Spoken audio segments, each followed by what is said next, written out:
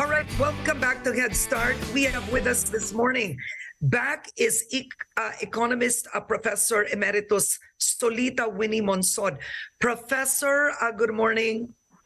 Good morning, Karen. I've been following your interviews the, All right, and I apologize. It's unfortunate. I would have wanted to have you on cam. We can do this again next week. So I, I okay. want to ask you, Professor, are you satisfied with the fact that the GSIS and SSS funds have been removed from the proposed sovereign wealth fund?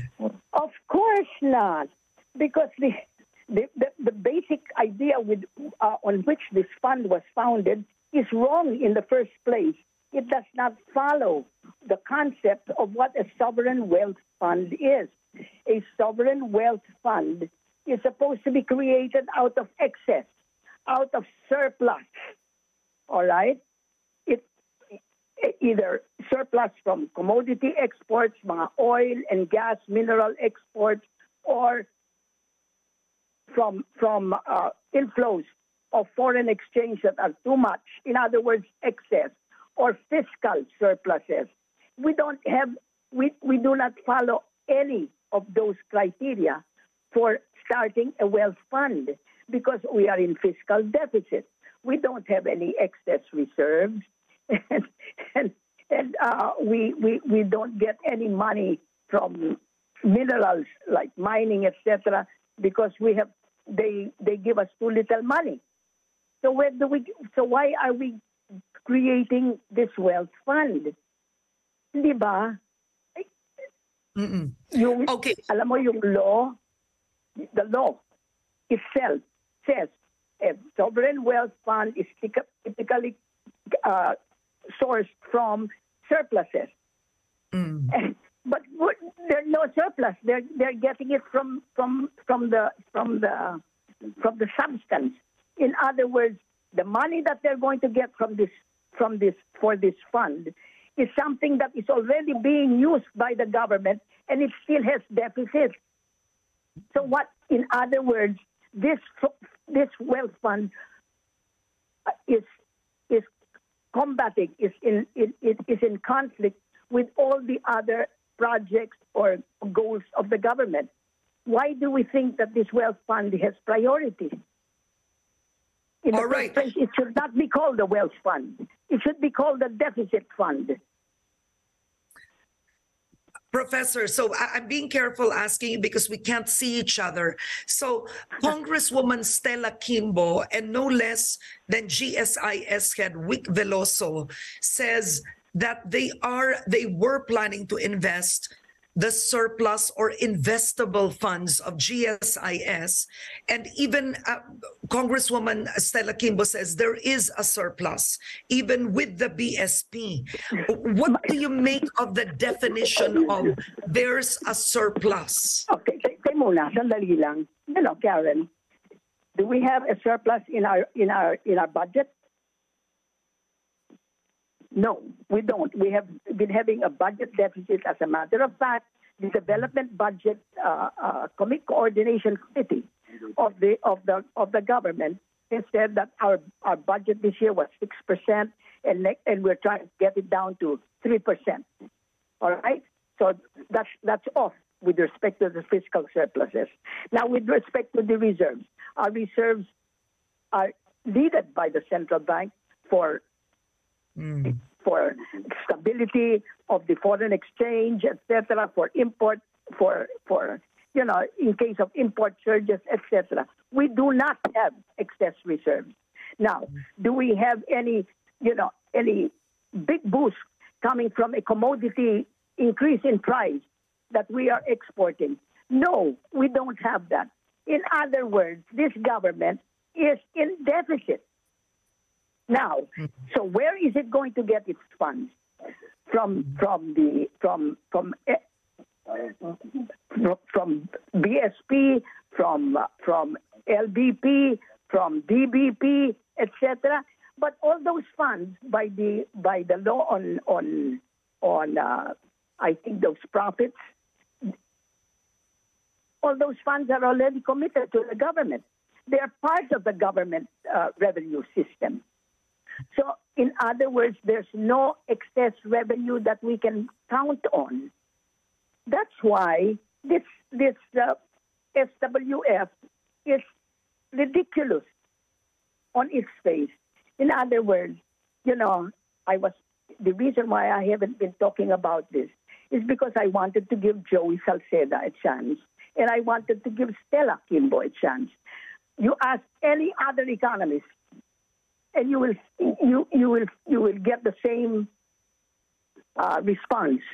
You know, the, this Ma- Maharlika Wealth Fund is a parang pa- para bang distortion. It is a distortion of what a, a sovereign wealth fund is. Okay. Now, Professor, um, in 2021, Indonesia introduced its own sovereign wealth fund, and it was unique. What happened with the Indonesia Wealth Fund is it seeks foreign co investors to capitalize on the fund rather than rely on commodity revenues. So the style of Indonesia was different. Can't we do that? Hindi po ba posible yun, ma'am? Indonesia started it in 2021. We don't know yet what its what what uh, its fate is. We don't know. It's just last year, right? In the first place, we have uh, so many others. We have the we have the public-private partnership. We have so many other vehicles. Why do we want to create a wealth fund that is going to by the way, it's going to invest abroad in Mm. order to get more money so that we can we can we can fund projects in the Philippines. Can you imagine? That's what it is. Mm. This wealth But fund. then, yeah. alam So I, no, I'm alam just. I, I wanted to ask you too. Um, you're right. The idea of a sovereign wealth fund is to invest abroad and then earn off the revenues from earnings abroad.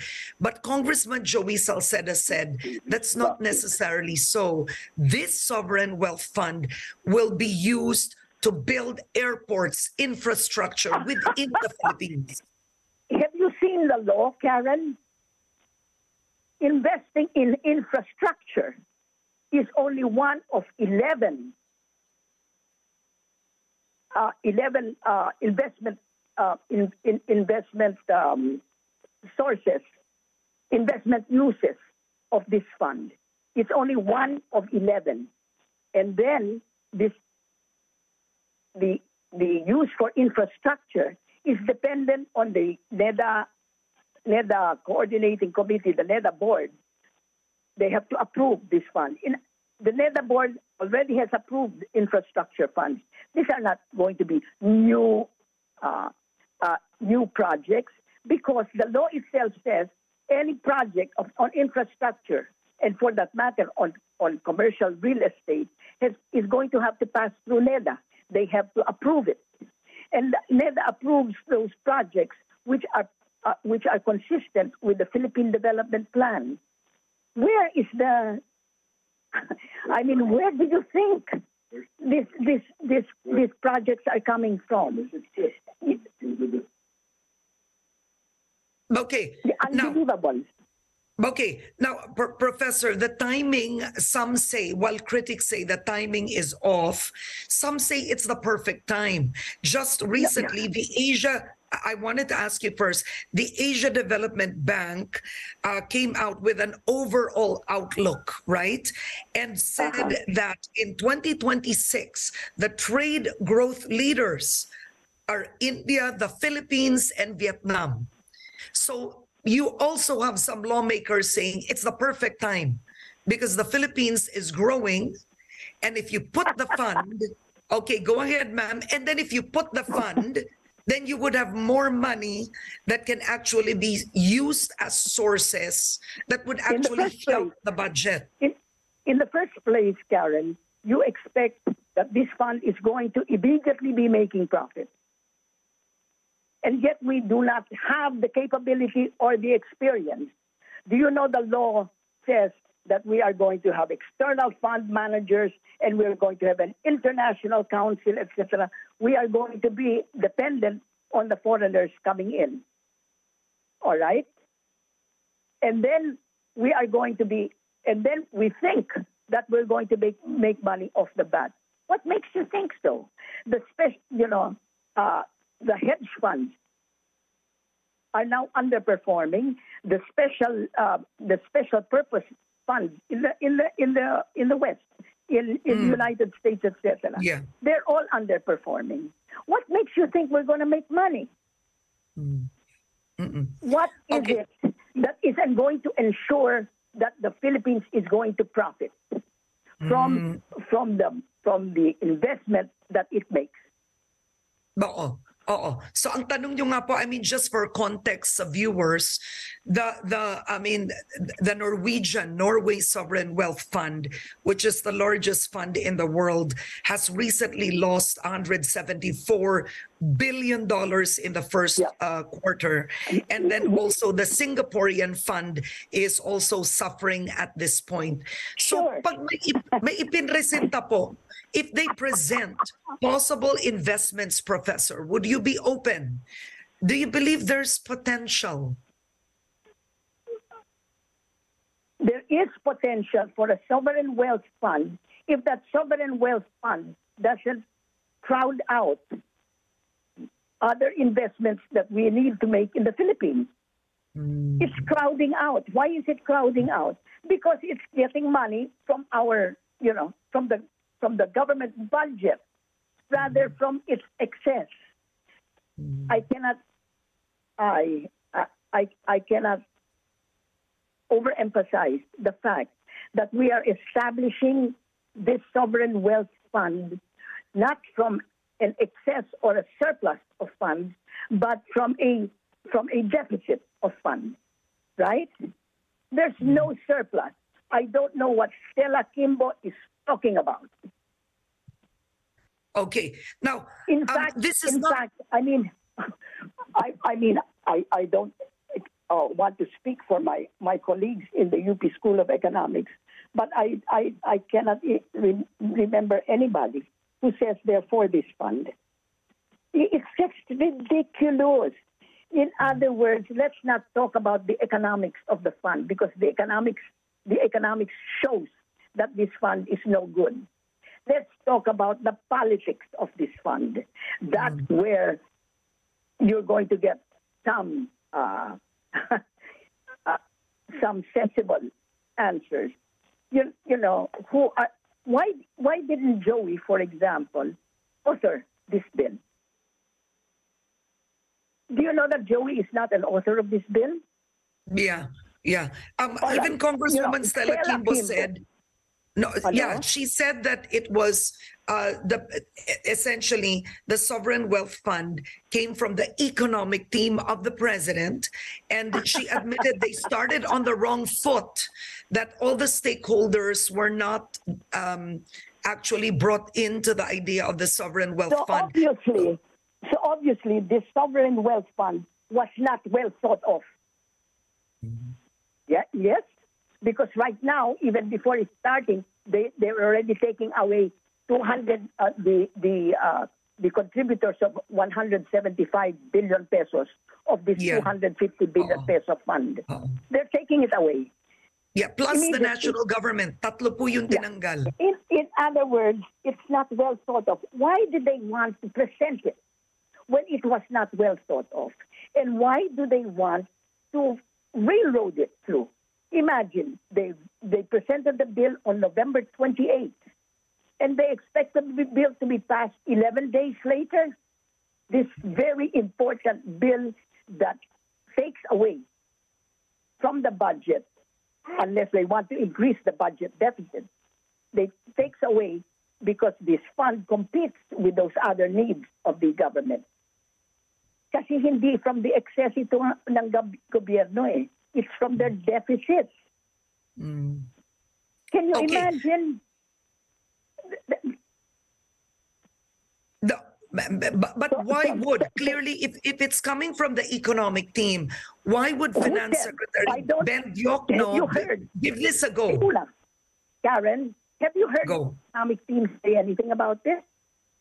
Have you heard Ben Diokno say anything about it? Have you heard? Okay. Have you have you heard uh, R.C. Balisacan say anything about it? My God, they, the NEDA just put out the, the, the, the Development Budget Coordinating Committee just put out their assumptions, etc. They're planning to to spend six percent, five to six percent of GDP, and not one mention of the need for a sovereign wealth fund. Mm-mm, mm-mm. Who of the economic team? Your economic team is Ben Diokno, R.C. Balisacan, Ms. Uh, Ms. Pangandaman of the of budget, and uh, Philip Philip Medalla. Well, Philip, he has And, uh, spoken. have you heard- Uh, have Phil- you heard Philip Medalla has from- spoken and is Exactly. So I don't Yeah. know what Stella Quimbo is saying that she has heard from the economic team. I don't think so. The NEDA, the, the, the, the NEDA website makes no mention of it at all. Okay? So, I- mean, people are talking about, you know, like like Martin Romualdez, the, the Speaker of the House, he's talking about, you know, we need this for the other investments that the President will want to make for the Philippines. What investment that's going to be part of the Philippine Development Plan? We are, we are, we are, I, I mean, we have a plan. The plan is going to be presented. The, the, they have the the the, the, uh, the projects that are going to be needed to undertake six percent, etc. So where is the sovereign wealth fund role in this? I don't see it. I looked at the website of the of of, of. Never a word. Where do you? I mean, have did you did you did you hear Arsenio Balisacan speak about this? Mm, all right. So Okay. what is yeah, they haven't so- issued. So what is what is Stella Quimbo talking about? Mm. They Okay, haven't so- they haven't said boo. They don't want to. The only right. one who has who has Yeah. guts is, is, is Philip Medalla. He says, you know, he's, he's going to be it's, it's going to be forced out, kicking and screaming. All these fun. you know. Did you did you know that So, so what, what do you believe, Professor, is the real motive behind the pushing of this cow. fund? a milking cow. This is going to be a fantastic milking cow. Along the line, you know, this government has, I mean, all our governments have never been known for managing money well. Look at the the the coconut levy fund, right? For the farmers, it was supposed to help the coconut farmers and bring them up. What happened? It was it was distorted by the entrance of a crony. And, uh, uh, you know, they bought the Uni- Uni- United uh, Coconut Bank, and the United Coconut Bank got into trouble. And, and the LBB and the Land Bank had to merge with it to, to, to get it out of trouble. Look, look at what it, look at what it did. Did it help the coconut farmers? No. Did it help uh, Cojuangco? Yes. He got San Miguel, and now San Miguel is not is, is a, a private entity. And where did the coconut farmers end up? Nowhere. Look at the road fund. Oh, that was uh, that was uh, brought out by Miriam Santiago. You know, it was supposed to be for roads, etc. Nothing happened. There are so many other funds like that. The National Development Company, you know, to, to, to get the assets and to manage it well. Government has never been a good manager. All its government corporations have never been successful corporations. What makes you think that this corporation is going to be any different? And look, All right. huh, Now- this corporation, ang damning, you know, to give this corporation a head start, pardon, no, no pun Yeah, intended, go ahead. you know, they are exempted from RA 7656, which is the dividends law. In other words, all other government corporations have to give dividends. There are some exceptions. All right, they're exempted. they're exempted from the salary, uh, it- it- salary uh, standardization law, the the RA Here, yeah. seven Okay. five eight. They're exempted from the government procurement law, RA Mm-hmm. eight nine one eight four. Then they're exempt, exempted from the Philippine competition law, ten six six seven, and then they're exempted from the Governance Act, the GOCC Governance Act ten one four nine. Jesus, they've got it all, and they are going to be paid do you know this? They are going to be paid, my God, on international standards. They are hmm. exempt from this law because they are going to be paid fantastically. Don't you think that's a milking cow? All right. Now, you think that Professor, I don't have characteristics of a enough time, but just to balance, balance the conversation. So you believe the real intention is to make it a milking cow. Let's put it Oh, back to President Marcos Jr., who, let's put it to that. What if the real intention of the president is to just find ways Well, to raise well- more revenues for the government to to uh, because now the budget just increased by 4%. So uh, as Stella Quimbo said, hanggang dito na lang tayo kapag wala tayong sovereign wealth fund. So just to close, God. let's put it to the intentions are good. O, You know, po yun? all right. Okay. You know, you know the saying: the road to hell is paved with good intentions. I don't, I don't know how a sovereign wealth fund, which is born out of deficit rather than of surplus, is going to be of help. Because if it's born out of deficit, that means it has, it is competed and crowded out other possible good projects of the government. Okay? That's number one. I would really love to hear what the economic team thinks of this government wealth fund. All right. Professor Monsod, I do hope to have you on the show again because this will be an ongoing discussion. The Sovereign Wealth Fund, you've given strong points today. I really appreciate it. And I am so sorry with our signal problems earlier today, but I do hope to see you again. Well, I'll see, you. you know, and by the way, this, this, this wealth fund is going to be exempt from all taxes and all civil God in heaven. Talagang mukhang halatang halata. Okay. Sige. Sige, Karen. Nice All right. to You take care, ma'am. You take care. That was a Professor Emeritus Economist, Solita Winnie Monsod. Um, we'll